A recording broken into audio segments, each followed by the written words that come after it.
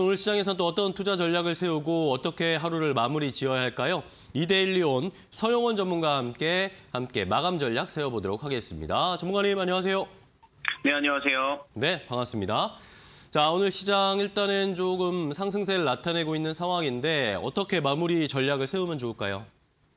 네, 맞습니다. 오랜만에 우리나라 시장은 좀 상승세가 좀 이어지고 있는 모습인데요. 어쨌든 뭐 금융 리스크가 어느 정도 해소되고 있다라는 점에서 뭐 아시아 증시가 전체적으로 오늘은 좀 안정적인 흐름들을 좀 보여주고 있는 상황입니다.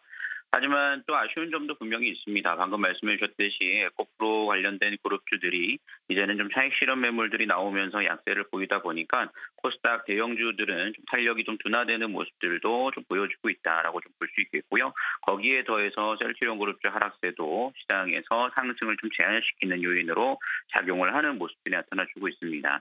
하지만 오히려 상승 개수, 하락 개수를 감안해 보면 상승 개수가 훨씬 더 좀 크게 나타나주는 모습인데요.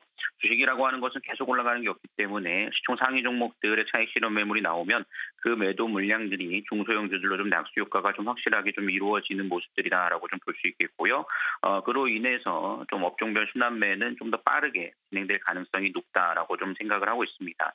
어, 특히나 이제 업종 순환매들을 좀 대비를 해나가시는 게 중요할 것으로 예상이 되는데요. 앞으로 우리가 봐야 될 섹터들은 정말 많은 것 같습니다. 우선은 뭐 삼성발 로봇 관련된 이슈도 여전히 좀 살아서 움직이고 있는 상황이기 때문에 어, 로봇 관련된 종목들도 좀 살펴보셔야 되겠고요.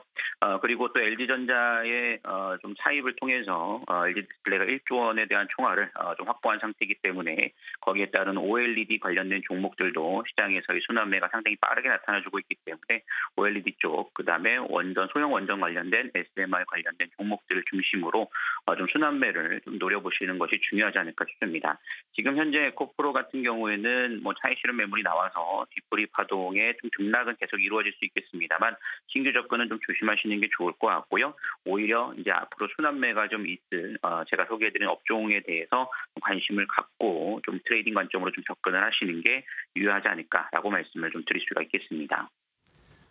네, 알겠습니다. 말씀해 주신 것처럼 또 순환매 차례 기다릴 수 있는 전략 잘 세워보도록 하겠습니다. 오늘 말씀 감사하고요. 내일 또 좋은 마감 전략 부탁드리겠습니다. 고맙습니다. 네, 감사합니다. 네, 감사합니다.